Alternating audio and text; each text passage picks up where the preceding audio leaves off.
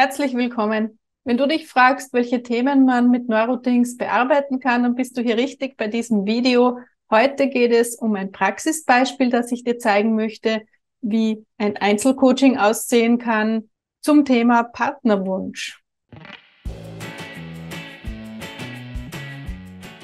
Wie wir alle wissen, können Beziehungen ja sehr komplex sein es gibt Zeiten, in denen es sehr gut läuft und dann gibt es leider auch Zeiten, die nicht so lustig sind und die meisten Menschen bleiben von Trennungen nicht verschont.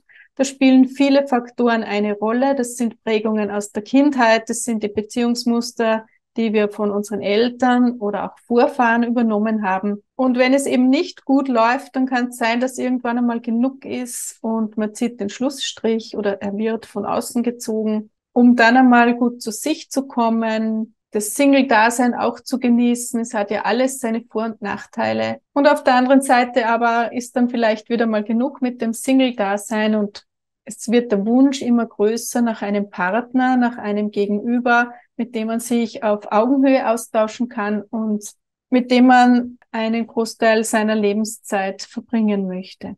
Diesen Wunsch hat eine Klientin von mir und ich möchte dir jetzt ein Beispiel zeigen, wie so ein Coaching ablaufen kann, wenn du dich neurokreativ mit dem Thema auseinandersetzen möchtest. Und das Ziel ist natürlich, die Blockaden zu beseitigen, die vorhanden sind und den Wunsch noch stärker und konkreter anzuvisieren. Wenn viele Verletzungen passiert sind, dann macht das natürlich was mit einem. Es prägt uns. Diese emotionalen Prägungen beeinflussen unser Denken, unser Tun. Es geht um Erwartungen. Es geht um Enttäuschungen, die befürchtet werden. Je stärker und je heftiger diese Verletzungen waren, umso eher ist diese Gefahr, dass man selbst dann schon gar nicht mehr glaubt, dass eine solche Beziehung möglich ist. Damit man nicht wieder ins alte Verhaltensmuster rutscht und ganz offen ist für eine neue Beziehung, wenn du schon lange im Single-Dasein bist, zu lange für dich und du wünschst dir wieder einen Partner, dann könntest du zum Beispiel auf neurokreative Art und Weise versuchen, dich dorthin zu fokussieren, um von der Schwingung her in einer anderen Stimmung zu sein, um anderes anzuziehen und auch andere Menschen in dein Leben zu ziehen, andere als die mit dem alten Beziehungsmuster, das ja nicht funktioniert hat. Dazu ist es wichtig, die eigenen Muster mal zu hinterfragen und ich zeige dir jetzt ein Beispiel, wie das neurokreativ ablaufen könnte. Angenommen, du kommst zu mir auf Online-Beratung, hast den Wunsch, einen Partner zu finden dann führen wir ein kurzes Vorgespräch, um dann gleich ins neurokreative Zeichnen einzutauchen. Bei diesem Vorgespräch begleite ich dich mit Fragen, so dass wir herausfinden, in welche Richtung geht es. Es gibt verschiedene Abläufe, Zeichenabläufe, die geeignet wären. Und es geht darum herauszufinden, welcher gerade für dich individuell der passende ist.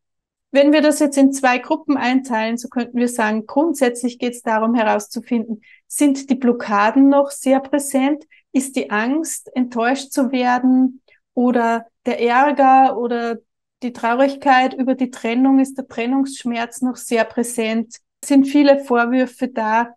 All das könnte es verhindern, den neuen Menschen kennenzulernen oder ihn ins Leben zu lassen, sich wirklich einzulassen auf eine Beziehung.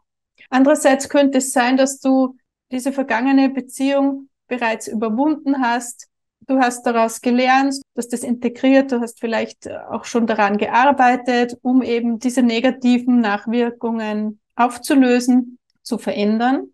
Dann ist es so, dass du schon voll fokussiert bist auf den neuen Partner, auf den Partnerwunsch. Das heißt, der Wunsch steht an erster Stelle. Wir haben also entweder wollen wir noch was aufarbeiten, um frei zu sein für den neuen Partner? Oder haben wir die Situation, dass du schon schnurstracks in den Wunsch, in die Richtung gehen möchtest und wirklich bereit bist für die Umsetzung? Da habe ich zwei verschiedene Zeichenabläufe. Ich möchte dir in diesem Video die zweitere Variante vorstellen, die ich durchführe, wenn jemand den Wunsch fokussieren möchte. Ich zeige dir das an einem praktischen Beispiel.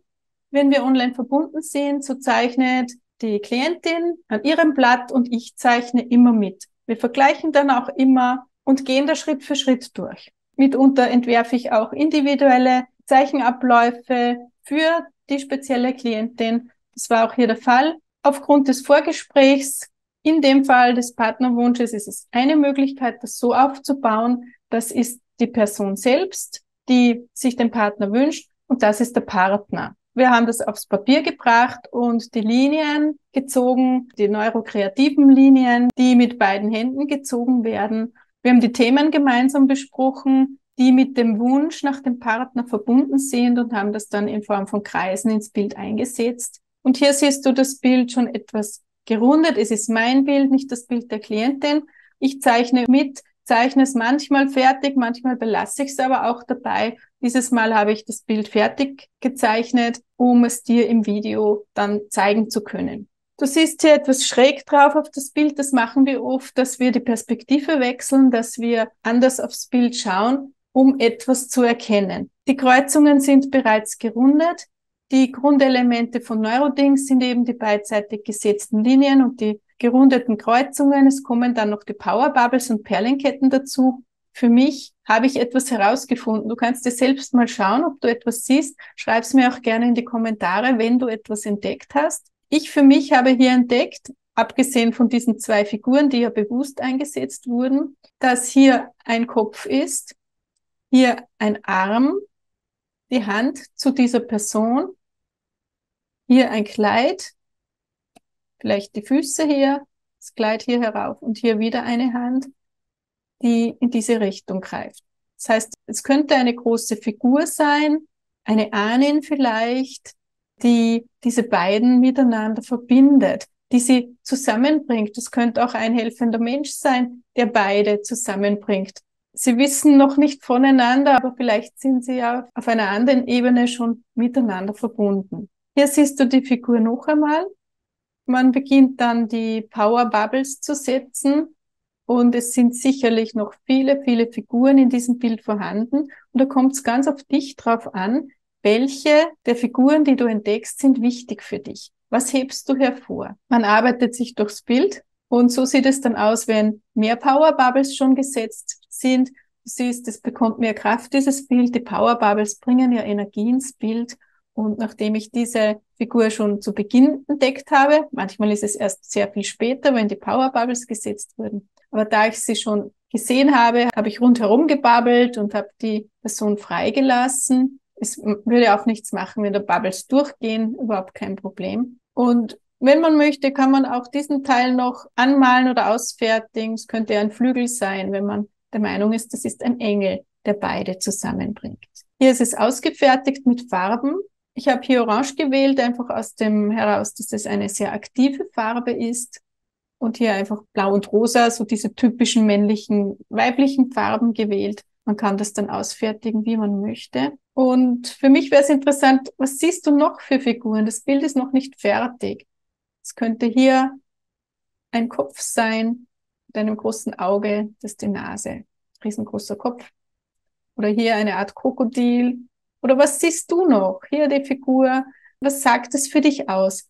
Was würdest du sagen, worauf ist jetzt zu achten beim Partnerwunsch? Welche Informationen haben wir noch? Welcher Eindruck macht diese Person in der Mitte für dich? Ist sie wirklich vermittelnd oder ist es ganz etwas anderes? Welchen Eindruck hast du? Es kommt natürlich darauf an, wenn es dein Bild ist, dann ist das gültig, was du empfindest. Das ist ganz, ganz wichtig. Wir haben ja hier ein Video gemacht. Es ist eine Zeichnung, die ich mitgezeichnet habe. Daher, du kannst frei heraus deine Deutung in die Kommentare schreiben, wenn du möchtest. Wir können darüber diskutieren. Und es ist ja eine Übung, dieses neurokreative Sehen, um die Perspektive zu wechseln, um die Kreativität anzuregen und einfach anders auf das Ganze drauf zu sehen. Und manchmal ist es ganz interessant, mehrere Meinungen einzuholen, mit den Gedanken kreativ zu spielen. Offenheit ist ja sehr wichtig und Kreativität, um Neues ins Leben einzuladen, wenn man eben schon erfahren hat, dass bestimmte Vorgehensweisen nicht so gut klappen, dann könnte man ja was Neues ausprobieren, als ständig das Gleiche zu wiederholen, was ohnehin sich nicht gut bewährt. Und abgesehen vom Einzelcoaching, das man machen kann, gibt es auch ein Buch zum Thema Beziehungen.